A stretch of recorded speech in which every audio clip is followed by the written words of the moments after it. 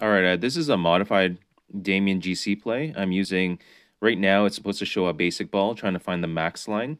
Then I'm going to switch the katana, three left side spin, four backspin.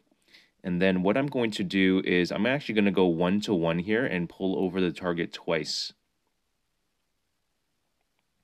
Um, what I should have probably done here is probably add 0.2 given the uh, heavy or the higher wind.